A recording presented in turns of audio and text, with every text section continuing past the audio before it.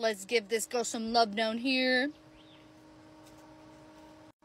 The reason why I started getting all these MRIs to begin with is because of my neck cracking, and I was referred from my primary doctor to my neurologist. Then my neurologist did a nerve study where they test your um, muscle nerve frequencies, and she saw that my left side of my body had weakness, tingling, numbness, and um, it showed on the nerve study. So then she had me do a CT myelogram scan. Sorry, my chickens are loud. So my CT myelogram scan, and then I had a thoracic MRI, and my thoracic MRI ended up showing my syrinx in my spine. And as you saw from my last video, um, the screenshots from that do I have Chiari malformation? As of right now, I don't. I just have the syrinx in my spine and um, literally just trying to figure out what caused it because I'm trying to stop the process of it getting longer because the longer it gets, I can lose bowel movements, um, you know, lose ability to walk and virtually become paralyzed.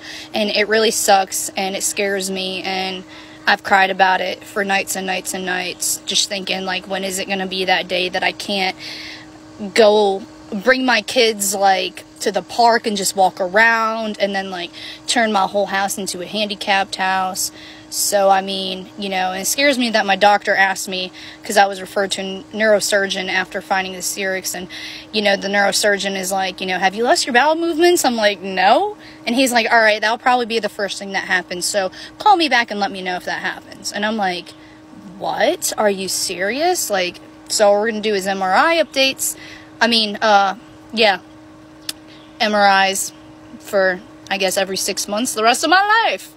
That would be great. Or sometimes they disappear. Hopefully, it just disappears on its own. But as of right now, my symptoms are chest tightness, chest pain. Um, I feel like someone hit me in the middle of my back and my shoulder blades with a metal bat all the time.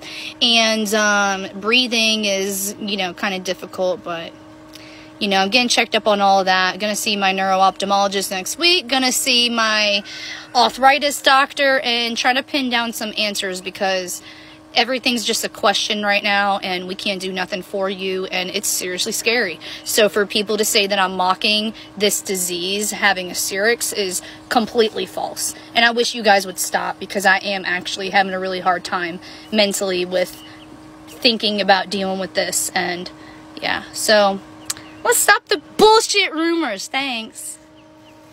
And let me enjoy my sandwich.